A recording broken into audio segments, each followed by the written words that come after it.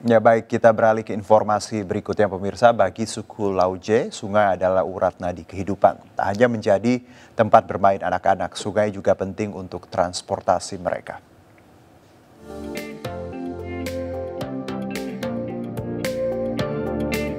Bagi suku Lauje, sungai adalah urat nadi kehidupan.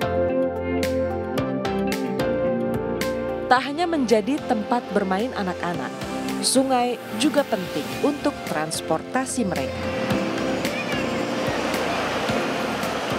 Dengan rakit bambu sederhana, orang Lauje membawa turun hasil panen mereka untuk dijual ke sejumlah desa kaki gunung seperti Bambasiang dan Palasa. Hanya sehari dalam sepekan pada setiap Kamis.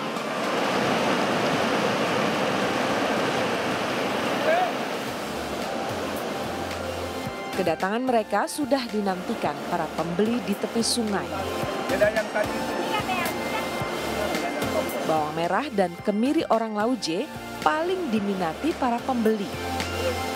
Selain hasil panen mereka berkualitas, harganya pun lebih murah ketimbang petani lain. Jadi berarti harga bawangnya satu kilo karena 8 ribu. 8 ribu. Nah, 7 ribu.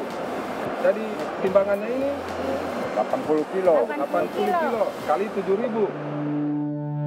Hidup terasing di pegunungan membuat orang Lauje bersifat pendiam. Hal itu terlihat dari cara mereka berinteraksi dengan pembeli yang terkesan canggung. Kalau hubungan itu dari dulu, hubungan karena saya pikir dari orang-orang di kampung sana, mereka sangat memaklumi eh, kehidupan masyarakat yang ada di suku pedalaman seperti ini. Jadi ketika mereka turun, mereka eh, terima baik dan ada juga yang biasa orang mereka panggil bela. Ya. Kata bela ini biasanya karena sudah baku biasa, ada bawa jagung misalnya, mereka berikan misalnya eh, ikan garam, eh, apa namanya sesuai kebutuhan hari-hari lah.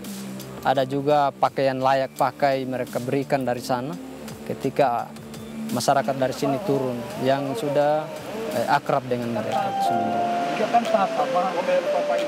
Orang Lauje harus berakit sekitar 3 hingga 4 jam ke desa Palasa bergantung deras air sungai. Semakin deras air sungai, maka kian cepat pula mereka sampai. Waktu tempuh yang lebih singkat jika dibandingkan harus berjalan kaki menuruni gunung selama 6 jam.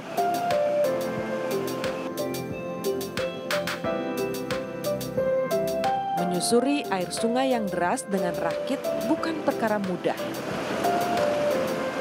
Kepiawaian mereka menghindari batu-batu besar merupakan modal utama agar rakit tidak tenggelam. Keterampilan berakit ini menjadi salah satu budaya suku Lauje yang diwariskan secara turun-temurun hingga kini.